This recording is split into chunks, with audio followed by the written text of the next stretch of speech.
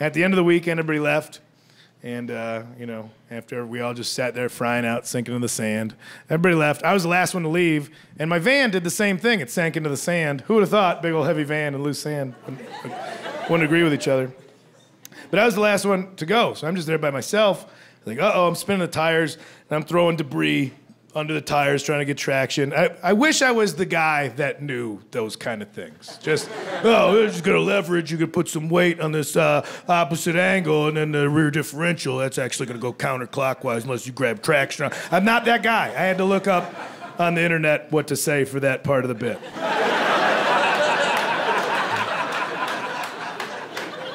The guy I was like, they're going, but they're not going. It's around, but not forward. I'm just a guy who just is sweaty holding his phone, like, I, I, uh. Usually there's a lot of answers. This. And I did. I looked at my phone. Had fantastic service out there. Go figure.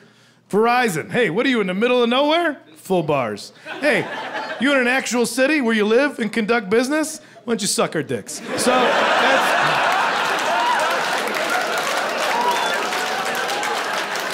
It's an odd choice for them to do that that way. But I had full bar. I'm like, all right. I, I called AAA. I don't know. I've been paying them shits for years. I think, and I, and I don't call them for the little things. Flat tire, do it myself. Ran out of gas, do it myself. I think I can call, call the big favor on them. So I'm like, all right, now AAA. And they're like, where are you located? I'm like, ha ha, um, it's, it's out there. Because we weren't even in the part of the, of the national park where there were still rangers. We were just out in the mafia burial ground.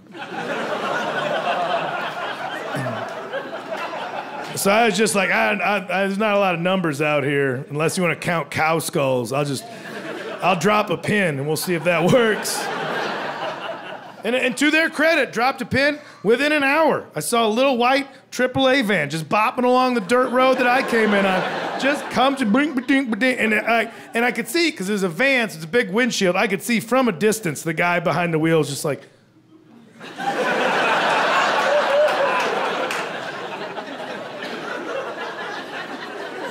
he pulled his window is down. The first thing he said, he just goes, "I can't do anything." And I was like, I know, but now you're here. And two heads better than one. And he was pissed, but he's obligated.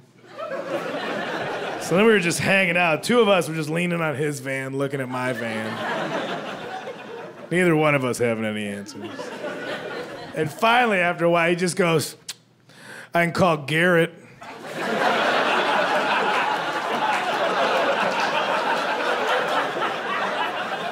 He gave me no context to who Garrett. He just said it like that's that's how we're gonna do it. We'll call Garrett.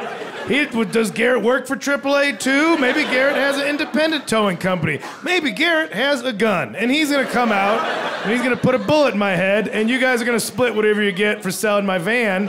And you can tell me that plan now like a supervillain because you know, like, oh, you're gonna die. Let me tell you exactly how. So.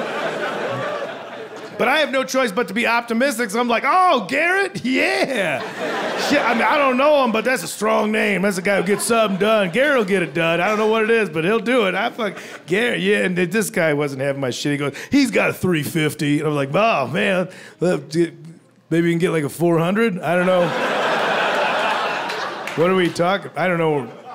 If these numbers are important, can you get more of the numbers? He's also got a Cummins. I'm like, what's that? Hope that's a go inside. he, was, he, wasn't into, he wasn't into the truck humor. He wasn't feeling it. So he shuffled off, and uh, he called Garrett. And within 20 minutes, this Mad Maxian cloud just appeared on the horizon, just, just tearing at us as if born of the setting sun. This was the phoenix that was Garrett. and he was coming right at us. Now, you know, national parks are very precious about them, and as they should be. They're trying to preserve that shit. But you get there, and they're not screwing around. They're like, stay on the trail, leave no trace, pack in what you pack out. Don't look at any of the animals in the face, they can't know you're here. Actually, we'd prefer it if you left. That should be the slogan for national parks. Welcome to your national parks. We'd prefer it if you left. You're really only harming this beautiful place. Garrett was not adhering to those rules. Garrett was a firm believer in the concept that the quickest way between two points was a straight line. So he was driving as the crow flies. Save for a couple swerves into the namesake shrubs. There was a cu- couple deliberate moves where I could. Garrett was driving like somebody named Joshua had just fucked his mother.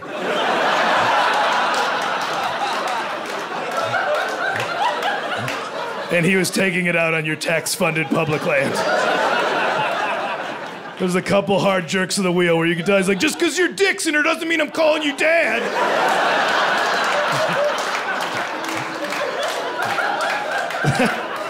So that's that's what was tearing at us. And I could see it was a truck. Of course, truck, truck, truck, truck. Give me a truck. I want a truck. Taller, taller than that. Taller. Give me another one. Put it on top of that one. Tru- Tall. Now wide. Make it a dually. Thick. I want a thick truck. I want a truck with sexy hips. I want a juicy, curvy truck. I love my curvy truck. Give me a thick, tall, le- leggy, curvy truck with a big ass, a breedable ass. Big, wide, breedable ass. Something I can hang on to when we slow dance. Give me a big, thick, curvy, but nuts. Put nuts on it. Make sure there's nuts. Dangle some nuts. Dangle some little nuts off that fuckable ass. Thick truck, thick, curvy truck with nuts. Yeah, she'll do. She'll do. I got her parked around back. She'll tow it. Don't tell me you don't understand pronouns at that point when you got a big curvy truck with nuts that you call she and her. How can one thing be a they? Look at your truck, dude. You fucking, you white trashed yourself into being progressive. You didn't even know it. And it was tall, and I get, listen, I get lift kits. I understand that there's some utility to having a lift kit, especially out there. You need ground clearance. But you know that some of these dudes that are getting lift kits, like there's, they are just using altitude to hide from alimony payments. You can tell that some of those guys have, you're probably here now. You know what you did. You probably, you concocted your own legal loophole where you, you just, you can't serve me papers if you can't reach me, dude. That's, that's the law. That's just the law. That's the law.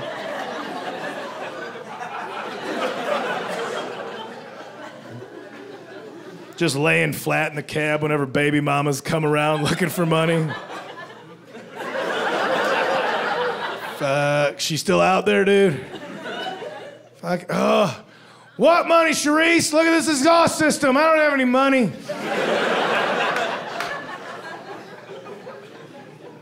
So that's what's coming at me. As it gets close, I can see that there's graphics on the truck. He's got graphics. And it's, it's, it's like a graphics, like a wrap. And it's the front of it, that's all I can see so far. It's skulls. Skulls. Yeah, skulls. I get it. Skulls. They're unicorns for dudes. Skulls. now I can see the side. I see that the skull wrap it gives away. It didn't like fade to the next day. It was like it was like clawed away. Like like the bald eagle came and like you experienced the justice, and then because then the back half was just it was all text. It was all like script, whatever font the Constitution's written in. I don't know. I don't know what it's called, Patriot Sans or whatever, but that. That was all over the curvy hips of the truck. And I'm reading, I'm like right away, I'm assuming probably 2A, probably Second Amendment. That's the kind of thing you see on this truck. Never really championing the First Amendment. You never see a bumper sticker on a truck like that that's just like, sing your truth. It's never, it's never that. It's usually some sort of come and take it type situation. So I'm reading it, but as I'm reading it, I don't see anything about right to bear arms or, you know, defend. I just see uh, shall prevent against illegal search and seizure and personal property and all that stuff. I'm like, that's the Fourth Amendment. My man Garrett has his truck wrapped in the Fourth Amendment. And that's when I realized something very specific had happened to Garrett. You don't just cherry pick. You're not just like, I'm an American, pick one. I don't care. Wrap it up, dude. Something went wrong with Garrett for him to be like Fourth Amendment. For that, he got I don't he he got busted selling reptile eggs on the dark web. But he found a flaw in the warrant and decided he he could defend himself in court. That's the best I could come up with. He just showed up and just you know said shit. Like, well, respectfully, Your Honor, okay, uh, the warrant is looking for Bolivian salamanders, and if I could point you to Exhibit A, uh, the evidentiary photographs, and you not see any Bolivian salamander eggs here, do you? I'm not to the untrained eye, but I can tell you that these these are Honduran geckos. Uh, now that is a similar spotting for any uh, any uh, uh, people out there that want. That's a similar spotting, but these are legal, and I believe uh, the 13 to 18 of the lower uh, uh, the, the, states that are stuck together. Um, as long as I fill out the proper paperwork at the post office. Ergo, ergo, Your Honor, respectfully, this whole thing should be thrown out. Ergo respectfully. And you could tell she had just had enough. She's like, that's the third time this week, Garrett. No, god damn it. $75 fine. And that's what just sent him over the edge. Like, not in my America. Hell no. You do not tread on me. I will not be treadeth upon. You're treading on me. I don't want to be treaded on. Just fucking wrap the truck. Fourth Amendment. I'm not putting up this shit no more. Fucking, you do not tread on me. You still nobody. By the way, by the way, I do have the rattlesnake eggs from the "Don't Tread on Me" flag, but um, but hit me up on my Hotmail because the feds are monitoring my Yahoo account. All right.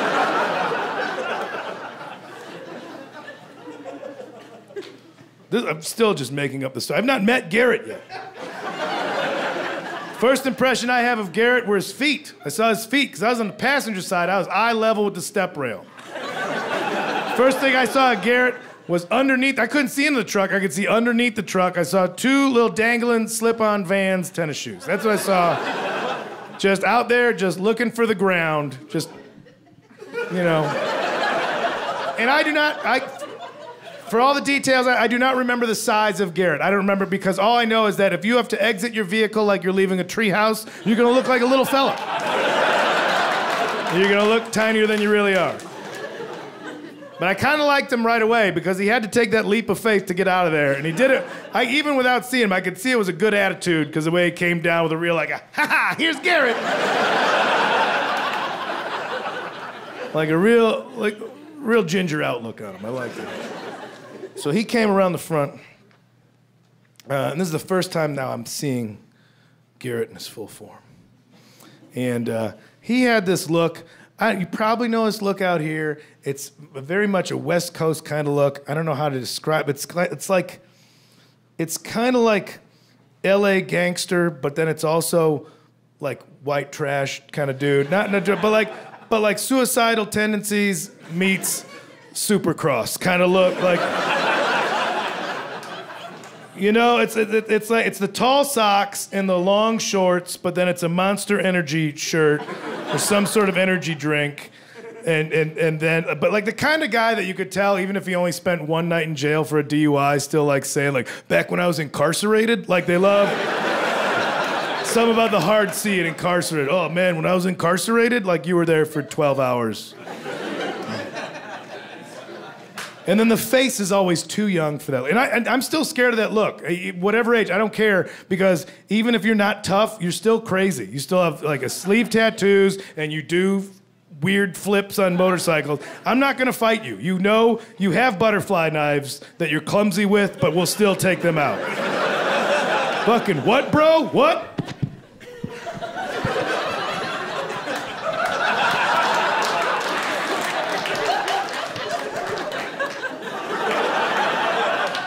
Flurry of chrome, dude. Flurry of chrome. and then the neck up, it's always too young of a face. Uh, it's, a, it's, a, it's, a, goatee, but you could tell it's a goatee that they dream that it was bigger. You could tell that you could tell they asked Jesus for it. They're like, mm, at night, just mm, please. Doink. Oh, thank you. And the part that throws me off the most is that there's always a flat brim hat, flat brim ball hat that's way too big. It always looks like a Peanuts character. and then they tuck their ears into the side. Do you guys know this look I'm talking about? All right, the ear thing throws me off the most. Because the rest of it, like, all right, kind of a gnarly, you know, desert tweaker, mountain weirdo, I get it. But then the ears and the hat thing is always like, what, now that's like real Rudy vibes that undermine the whole toughness of the rest of it. Because it's like kind of tough, kind of tough, tough, tough, tough. And then up here, it's just like, coach says, once I grow into the uniform, I'm gonna be a real scrapper. and that's so confusing. Either way, that's who stood before me. This was Garrett. And he didn't waste any time. He goes, That's your van? I'm like, Yeah. He's like, Fucking sick. And went, he just had chains, chains, chains, got right back into his truck, got in, rolled some coal, pulled me right back onto the dirt road. yeah. And that was it. That happened that fast. And I was like, oh shit, this, this is great. I'm saved. What I realized then is that we had not discussed payment yet. Yeah. We didn't go over that part. Now I'm in the desert and I owe a stranger a favor. And it's not often that later in life you get to have a new kind of fear. But I was like, uh oh, we didn't talk about money. I don't have cash, and I don't have grass.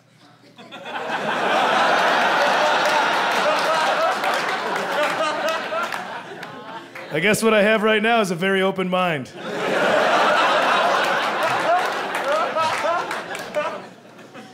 but I did have credit cards. Garrett's like, he's like 200 bucks. I'm like, oh, do you take credit cards? He goes, I'll take your credit cards. I, I meant, I meant as payment, not as just strong arm robbery. He's like, no, no, I got a square for my phone to swipe. I'm like, of course you do. It's great service out here, of course. Full bars, yeah, okay. But he's like 200 bucks. I'm like, there's no way it's gonna be 200 bucks. Just tell me what you're gonna buy when you steal my credit card information. I'll get it for you. I don't wanna reset PIN numbers. Just put together an Amazon wish list like a porn star. I owe you. Let me hook you up. That was it. It was 200 bucks. There's no discrepancies on my credit card statements, and he got me out of there. And that's the end of that story, and it should be a good end. It's, it, is, it is a good end, in theory. Well, the reason it's not a good end is because now I can't judge dudes like Garrett anymore. and that sucks. At 45, you want to be like, I'm set in my ways. I got things figured out. Now all of a sudden, I can't judge a book by its cover anymore. And that's a drag. That's my safe place in this world. That's where I feel comfortable, is walking around thinking I got everybody figured out, and so fuck them. That's how I feel good. Look at you. You dress like an asshole. I bet your kids don't love you. Oof, you got a girl pregnant in high school. Thank God I'm better than everybody around me. But no, now Garrett has to come along and flip the script on me, and now I got to sit behind those trucks on the highway and think, like, instead of wanting to see him flip over and burst into flames, I'm like, you might be saving an asshole like me from dying in the middle of nowhere. Godspeed, Garrett. I don't know what to tell you. And it's weird because I, I, think the world wants me to learn this lesson. It's a bad character trait to be judgmental like that. And I know that. I'm still that way. Garrett, that was part one of the lesson. I think part two is the fact that at 45, I don't know if it's age or if it's different medications that I'm on now because of my various ailments, I always have some pee in my pants. That's just as sure as rain's wet, I'll tell you. Not enough to go to the doctor, but enough to keep me humble, so I leave it there. I leave it there because I want to be a better person. It's like just a half dollar's worth at all times.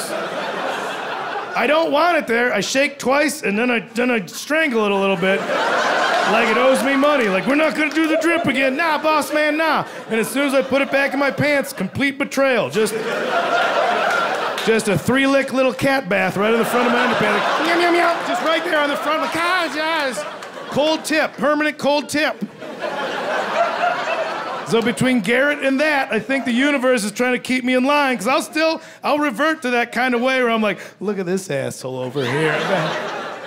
oh, I bet I bet you got a girl knocked up in high school and then you never talked to her again. And then some part of my brain's like, you think he's got some pee in his pants right now? Like, you know what? Probably not. I don't know anything about you. You don't know anything about me. Let's just get on in this world and be okay with each other.